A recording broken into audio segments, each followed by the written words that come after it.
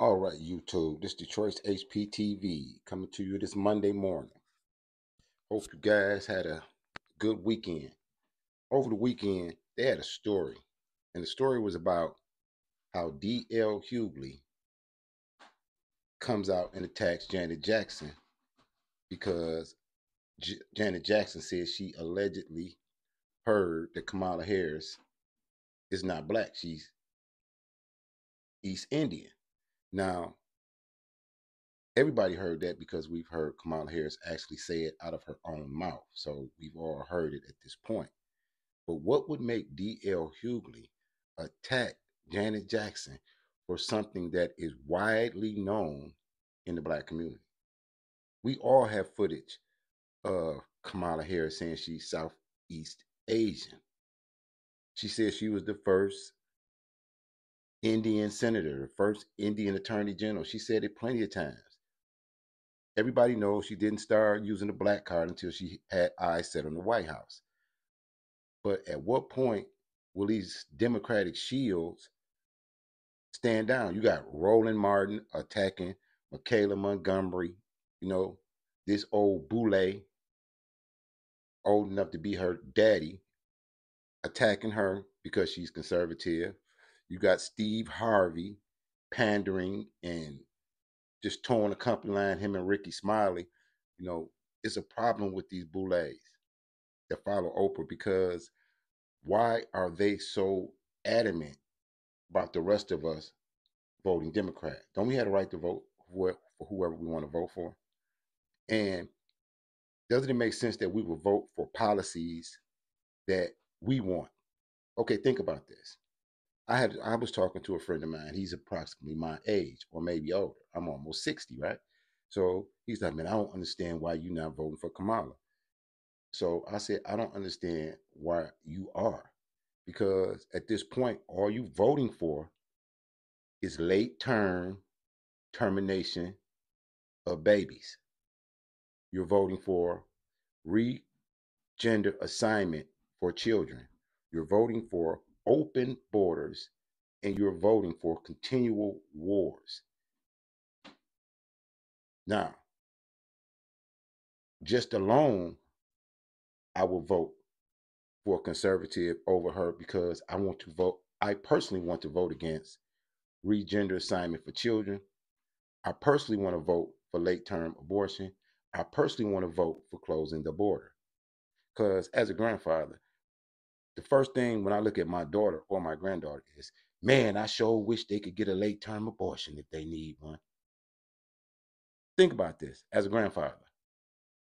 You're voting for the benefit of your granddaughter or your daughter to get a late term abortion. That's what's most important to you as a man. Come on now.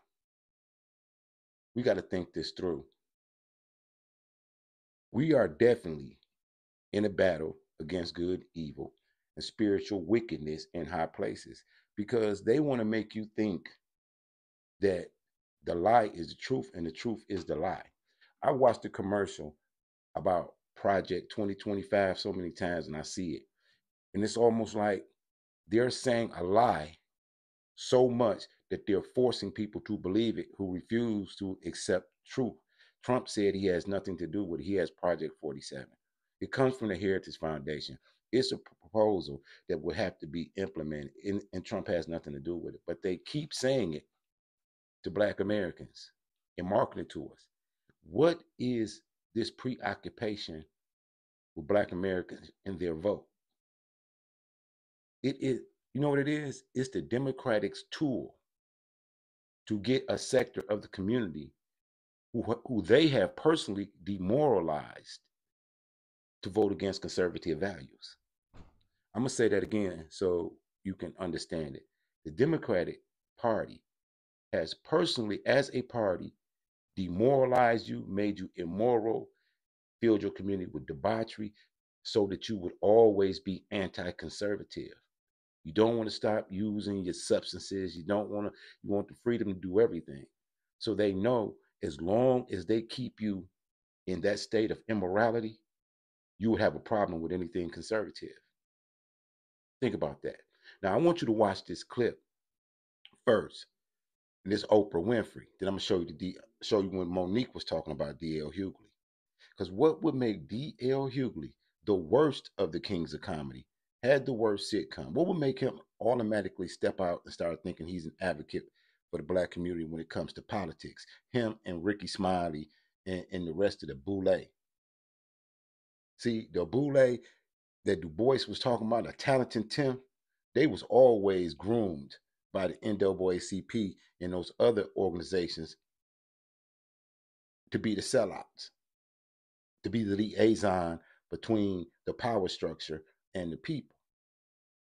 And they're paid handsomely to do their job.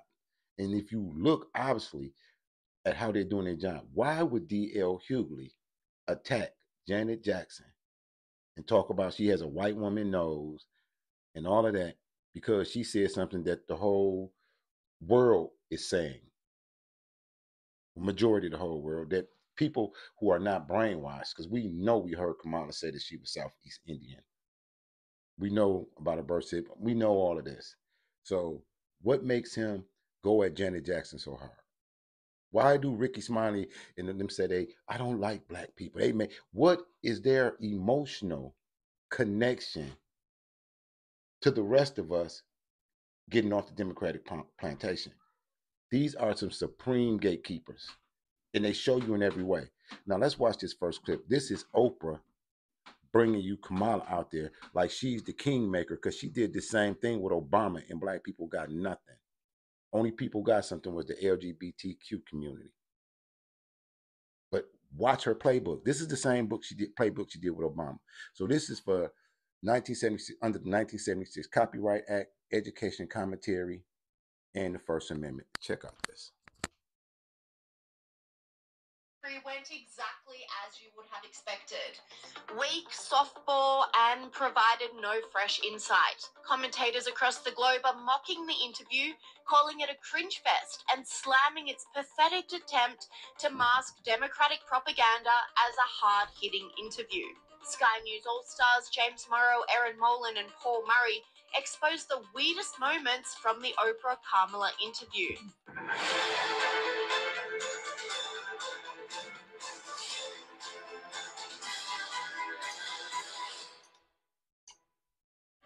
Hear the words Kamala Harris and Oprah, hard hitting interview doesn't exactly come to mind. And you would be right. The Kamala Harris Oprah interview was a certifiable cringe fest that can only be described as a campaign ad for the Democrats, reveals Sky News All Star Erin Molan. Now, today, Kamala Harris sat down with good friend and arguably America's most famous television host, Oprah Winfrey. And yes, ladies and gentlemen, it was as sickening as you'd imagine. The real measure of the strength of a leader is based on who you lift up. And it's, it's, important for us. Absolutely. You know, you know, majority of young Americans, 18 to 34, say that the cost of living is their top issue ahead of the election. Let's take a look. Groceries are extremely expensive right now. I don't understand how people are affording life right now. By a long shot, her tax plan is phenomenal. No glaze. Kamala Harris just delivered her new economic plan, and boy, oh boy, is it good for small business owners. You guys, Kamala Harris is going to announce tomorrow a $25,000 tax credit for first time home buyers. Now, we didn't just get this off the internet afterwards. This was part of the Oprah special. Ms. Molan went on to blast Kamala Harris again, saying she points out the complete obvious in her answers. Now, she did her usual thing as well, of course, pointing out the complete obvious. I look around at these screens, Oprah, I look at who's in the room, and this is America. This is. This is America. Yes, yes, it is America. Now, but despite the questions being blatantly scripted and pre prepared, Kamala Harris was still caught off guard and stumbled her way through what should have been a very simple answer, reveals Sky News All Star Paul Murray. She couldn't even follow the script if there was one. This was a question that was asked of her by a couple who clearly you can tell want to vote for her. Watch in particular the face of the bloke here. Mm-hmm. We really would love to know what your plan is to help lower the cost of living. Oh, what? What are you going to be asking me? I, I don't have an answer for this. Can you see that? Can we roll it again? Watch her face. Watch how frightened this woman is about answering a question in a scripted form that is a advertorial. Okay. now, I should have told you this in the beginning. This is Australian news. I want to show you how we're being pegged and seen around the world. This is Australia's news. This is Australia's news. And I wonder what it looks like to the rest of the world to see the whole black community being used as a political football that the Democratic Party wants to control at all costs. Now, remember as we continue, this is Australian news. Because she has no answer on this. We really would love to know what your plan is to help lower the cost of living. Ah, wow, leading in the polls, inevitable according to the 538 model. Well, it's her answer to the scripted question in the scripted room. That should frighten everyone. Again, keep an eye on the bloke here when they start to take shots where the wife is trying to be impressed and he's slowly not, because this is a buffet of word salad. Yeah, I, first of all, thank you both for being here. And yours is a, a story I hear around the country as I travel. And um, in terms of both rightly having the right to have aspirations and dreams and ambitions for your family and working hard and finding that the American dream is for this generation and so many recently. I'm gonna stop there because clearly at this point you realize she's not answering questions. She's not saying anything. She's not saying anything, but doing a lot of talking. Tell me what y'all get out of this. Far more elusive than it's been, and we need to deal with that. And when asked about the border, a question she's been asked hundreds of times and should be all over as the borders are, she fumbled it, reveals Sky News All Star James Morrow. Anyway, the premise of the forum was for Harris to be asked some very basic questions, questions which she still struggled with, even though they're entirely predictable. Here she was being asked about what she'd do about the border. Um, when you become president, what would be your uh, specific yeah. steps? Yeah, of course. what would be specific steps to strengthening the border? So it's a wonderful and important question. Um, I, you know, my background was as a prosecutor, and I was also the elected attorney general for two terms of a border state. So this is not a theoretical um, issue for me. Yeah, yeah, yeah, yeah. You know, she's always on about being a prosecutor. Kamala Harris also attempted some comic relief during the interview, but just ended up embarrassing herself, according to Sky News All Star Joe Hildebrand. Now, while we're in the US, Kamala Harris sat down with Oprah Winfrey for a Night for America post, post forum event on Thursday, where she made this surprising revelation. I'm a gun owner too. I did not know that. If somebody breaks in my house, they're getting shot. yes, yes, I, I, I hear that. I hear that. Probably should not have said that. but my staff will deal with that later. Oh, oh, oh, I'm a gun owner, America. you Republicans don't have to worry about me. Okay, as, as um, uh, James Morrow pointed out this morning, Joe, she has Secret Service protection. She ain't shooting anyone. It's the Secret Service who's going to kill someone if they try to break into the house. But, but, this is the second time now in a couple of weeks where she has brought up the fact she owns a gun. That's right, exactly. This is what I love. Just, just, well, you know what? I mean, I probably shouldn't say this, but I'm a gun owner. And then, like, no one pays any attention. Oh, now I'm going to have to not say it again. I'm a gun owner. Like, it's like it is the most embarrassing And kind cracking. And That's like, right. It's the most little things embarrassing kind of kind of, you know, like, it, it's, uh, she just does my head in. Like, it just, it, she's just so annoying. And, and this idea that she's got to sort of, you know, let it slip that she's actually just a normal person like you and me, and that she's actually this really kind of gung ho, middle of the road, middle America, cowboy hat wearing, horse riding, gun toting. It's just surrounded by celebrities at that event. That's right. It's, Like- stop with the celebrities. Like it is just such a Oh. bad look. This is where Hillary Clinton went so horribly wrong, and why she lost to Donald Trump. Because when she was hanging out with Beyonce, Trump was holding rallies with workers in Pennsylvania, and Kamala is doing the exact same thing. I can't believe. it. I mean, I, I, I suppose they need the money, and they think they have to get as much money as they possibly can to put together as slick a campaign machine as possible, because you can't really have her pretending to be real. But Erin Molan took a more serious tone to her gun owner response, saying, Imagine if Donald Trump had given that same answer. Now, just imagine, just imagine that it was Donald Trump sitting there and saying those exact words. Imagine what her response and the rest of the Democrats' response would have been to a line like that. Just imagine. Now, let me leave you with this super powerful exchange. As we have 47 days um, until November 5th. What's on your heart? Freedom to be who you are and just be, to love who you love openly and with pride. Freedom to just be. Hmm. Craving a weight loss solution that actually performs?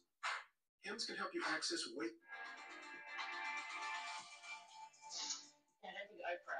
Any idea what she meant. Mm. And even Kamala Harris's biggest fan, Oprah, was caught looking very bored and confused with the mindless ramblings at points. Speaking of weird versus normal, my God, how about that interview Kamala Harris did with Oprah? Did you see this? Again, in even the most softball form, Harris was left grasping for answers, laughing nervously, and repeating the same set pieces that have been running her entire mini campaign. First, a bit of Harris just talking about, well, who knows? And there's a great moment here when it looks like even Oprah is having a WTF moment. One of the greatest expressions for the love of our country, one of the greatest expressions of patriotism is to fight for the ideals of who we are, which includes freedom to make decisions about your own body, freedom to be safe from gun violence, freedom.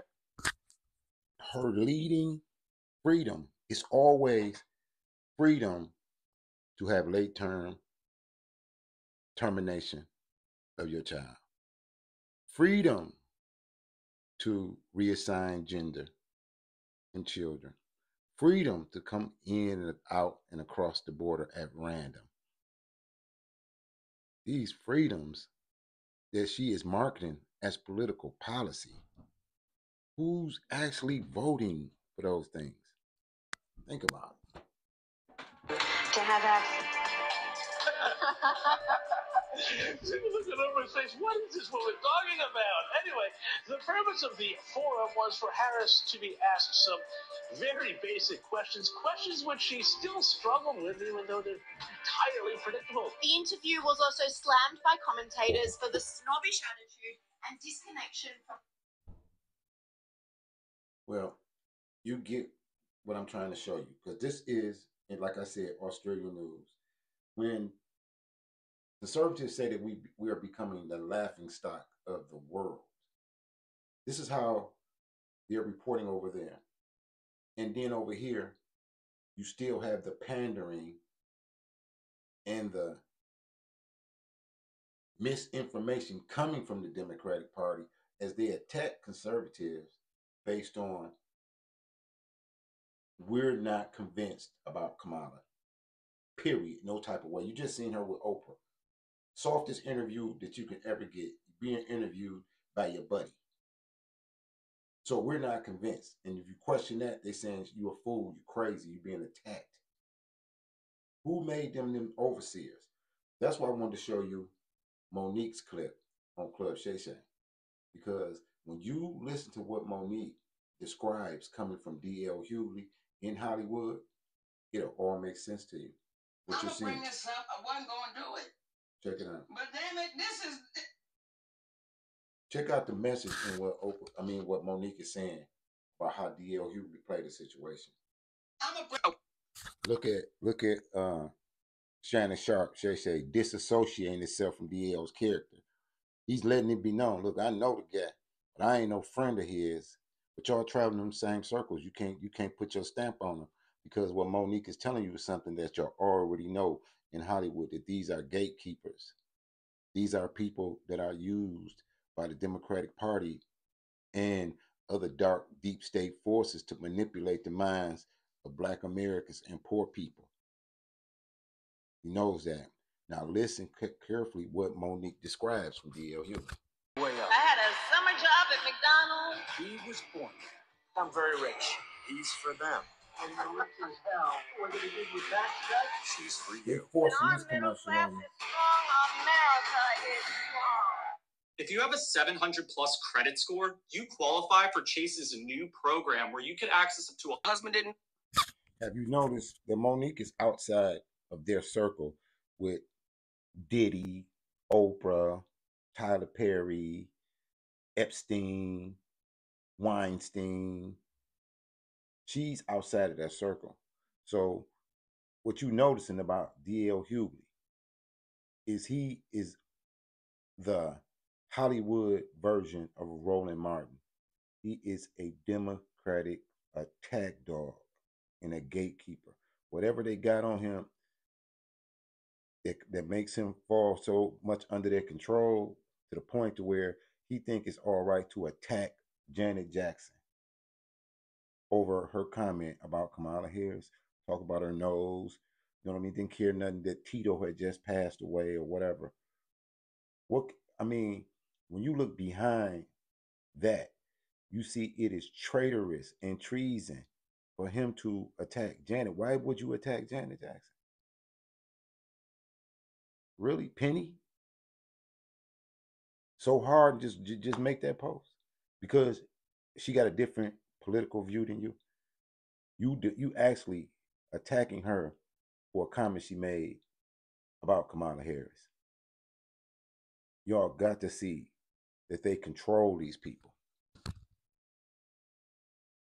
Now, I want you to follow what she's saying DL did. You know, he sent a memo and tried to use the memo as a contract. But with a memo, you don't have to sign and agree to it. So it's not a contract. But he's misrepresenting, misrepresenting the memo as a contract to people. And you can see that this practice through Hollywood and entertainment has gotten people in some real financial trouble because they're accepting memos as contracts. They're not negotiating, they're not informed. But B- DL, this is his practice, obviously. Listen to Monique. signed to go as the head. Enough. I'm gonna start right there because I'm sure y'all seen the interview.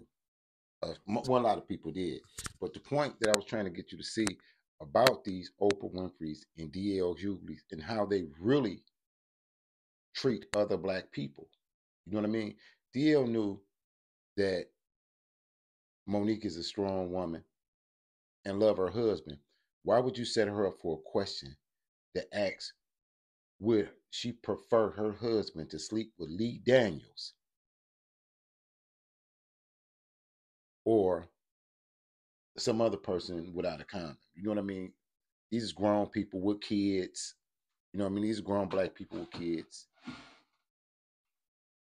And you accept that he said that as if that's journalism, that's media, that's what this this is what we do as black people. This is how we talk when we get together, this is what we talk about. We talk about who doing who. We preoccupied with that.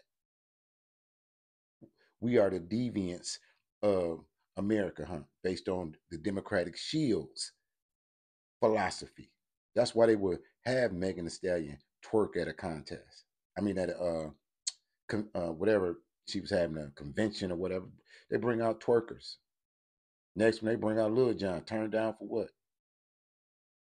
Can't y'all see that they use these gatekeepers to not only manipulate you to vote, but to pervert you, to undermine your spirituality, to sell your soul. They want you to sell your soul. Just think about what they're asking you to vote for. They keep stressing your woman's right to. But look how they phrasing it. Look how they they they, they just t- telling you the most important thing is for a woman to be able to have a late term abortion. As a man, a father, a grandfather, how is that marketable to you? When you look at your granddaughter or your daughter, you say, "Man, I just, I just sure hope that when she's grown, she can get a late term abortion." Is that what you're thinking? So how are they able to even market that and sell it and sell it to us? Who has made us so spiritually blind that we can't see the obvious? These people are leading us into destruction and hellfire. And I'm gonna end on that note. This Detroit's HPTV comes to you out of Detroit. Support the nonprofit Detroit's Black Thought and Action Collective. The cash app is in the description. As always, salute to all patriots. Keep your head on the swivel, like, share, and subscribe. Peace.